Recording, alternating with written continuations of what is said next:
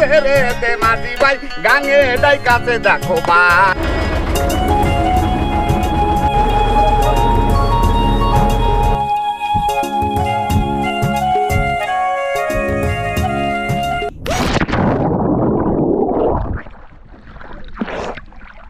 শুভ সকাল, সুন্দরবন। সুন্দরবন এক্সপ্রেসের আরও একটি নতুন এপিসোডে আপনাদের স্বাগতম। বন্ধুরা, আমরা বর্তমানে রয়েছি সুন্দরবনের গভীর থেকে গহিনে। সুন্দরবন জাদুমাখা এক নাম। কাদামাটির ওপর বুকের পাজরের মতো শেকড় বেরিয়ে থাকা বিশ্বের বৃহত্তম ম্যানগ্রোভ এই বনে রয়েছে বিশাল সবুজের সমারোহ। সুন্দরবনকে হোয়াইট গোল্ড আর কি সাদা মাছের স্বর্গরাজ্য বলা হয়। সাগরের বুক চেড়ে জেগে ওঠা সুন্দরবন কেবল সৌন্দর্যই নয়, জীববৈচিত্র্য এবং মৎস্য সম্পদেও ভরপুর। প্রাকৃতিক দুর্যোগে সুন্দরবন যেমন মানব রক্ষার ঢাল হিসাবে ব্যবহৃত হয়, তেমনি এর মৎস্য সম্পদ দেশ ও দেশের মানুষকে অর্থনৈতিক সমৃদ্ধ এনে দেয়। অবস্থান, প্রজাতি, বিন্যাস, উৎপাদন, বিস্তৃতি ও আবাসস্থল বিবেচনায় সুন্দরবন দেশের অন্যতম মৎস্য ভাণ্ডার। তাই তো সুন্দরবনের মৎস্য সম্পদকে কেন্দ্র করে জীবন জীবিকার অবলম্বন হিসেবে খুঁজে নিয়েছে উপকূলের কয়েক লাখ মানুষ। সুন্দরবনে মোট কত সংখ্যক জেলে মাছ ধরে তার সঠিক পরিসংখ্যান পাওয়া মুশকিল। তবে ধারণা করা হয় বর্তমানে জেলেদের সংখ্যা এক লাখ পাঁচ হাজারেরও বেশি। এরা প্রত্যক্ষভাবে মাছ ধরায় যুক্ত। এর বাইরেও আরও তিন চার গুণ সংখ্যক মানুষ পরোক্ষভাবে সুন্দরবনের উপর নির্ভরশীল। জেলেরা মাছ বাছাইয়ের সময় অনেক মজা করে থাকে, আর মাছ বাছাইয়ের কাজটি তারা মজা হিসেবে নেয়। মাছ ধরার পর মাছ বাছাইয়ের সময় এক আনন্দময় পরিবেশের সৃষ্টি হয়। আর ওই সময় জেলেরা গানের তালে তালে মাছ বাছাই করতে থাকে। তাহলে মোবারক ভাইয়ের কণ্ঠে একটি সুন্দর গান শুনুন। ওরে হাল ধরিয়া পয়সা মাঝে বইটা লইয়া হাতে হাই রে বইটা লইয়া হাতে। আবার সাগর দেখা দিছি, পাউড়ি ভাই কি তাতে আছে রে মাঝি ভাই। আছে রে মাঝি ভাই। গাঙ্গে ওইটাছে দেখো বান নোংর তোলো নায়ের দে রে দে মাঝি ভাই। বাদাম উড়াইও নায়ের দে রে দে মাঝি ভাই। গাঙ্গে ডাই কাছে দেখো বান হেয়া রে। হেয়া হেয়া রে হেয়া হেয়া রে হেয়া, হাল দরিয়া পয়সা মাঝে, পয়টা লইয়া হাতে, হারে পয়টা লইয়া হাতে। আবার সাগর দাইকা দিচ্ছি পাউডি ভাই কি তাতে আছে? রে মাঝি ভাই গাগে এটাই কাছে দেখো বান না গাঙে এটাই কাছে দেখো বান। নঙ্গর তোল নায়ের দে রে দে মাঝি ভাই বাদাম উড়াইও নায়ের দে রে দে মাঝি ভাই। গাঙ্গে এটাই কাছে দেখো বান গাঙ্গে এটাই কাছে দেখো বান। হাল ধরিয়া পয়সা, মাঝে বইটা লইয়া হাতে হাইরে বইটা লইয়া হাতে।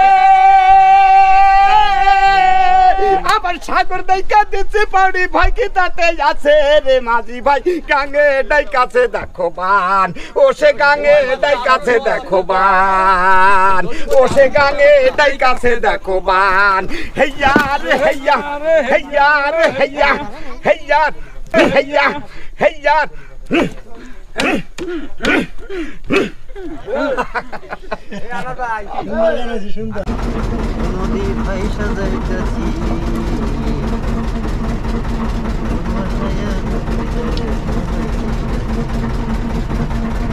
শেষে সকালে আমাদের খাবার জন্য চাকা চিংড়ি প্রসেসিং চলছে। এই চিংড়িগুলো খুবই মজাদার ও সুস্বাদুও বটে। এই চিংড়িগুলো রান্নার পরে মিষ্টি লাগে।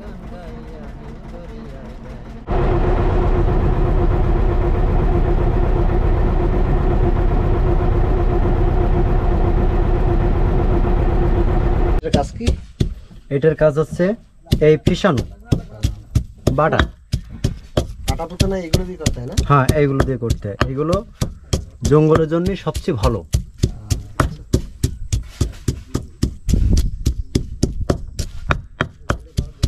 এখন পাটার পরে ফেলে বাটানো যায় না।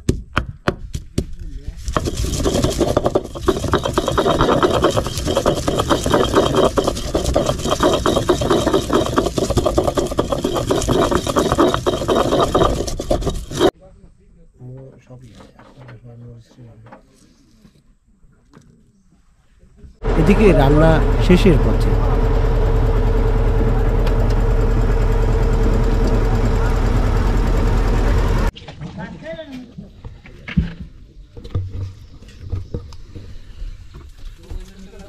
সকালবেলার চাকা চিংড়ি, মাছ ভুনা আর পানি দেয়া ভাত আর সুস্বাদু লাগার কথা এবং আমরা খাইয়ে দেখতেছি যে আসলে কতটুকু মজা লাগে।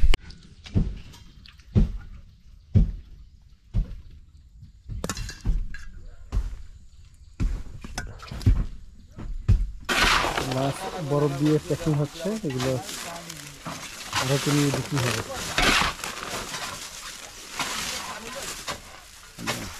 মাছ বাছাই শেষে সংরক্ষণ করার জন্য বরফ দিয়ে প্যাকিং করা হচ্ছে। পরবর্তীতে এই মাছ আড়তে ডাকের মাধ্যমে বিক্রি করা হবে।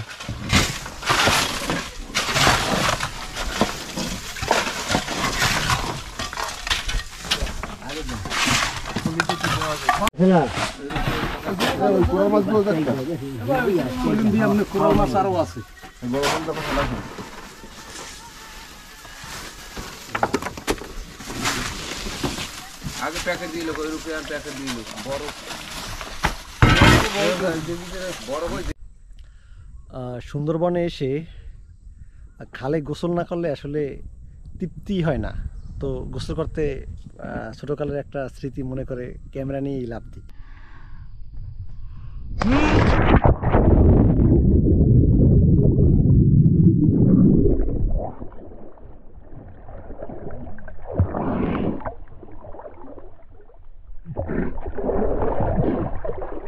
এদিকে দুপুর ঘনিয়ে বিকেল চলে এসেছে। জেলেরা প্রতিদিনের মতো আজও নিয়মিত মাছ ধরার জন্য তাদের গন্তব্য স্থানে যাচ্ছে আর তাদের মাছ ধরা শেষ হবে পরের দিন সকালে। এভাবেই চলতে থাকে তাদের মাছ ধরার জীবনচক্র। আজ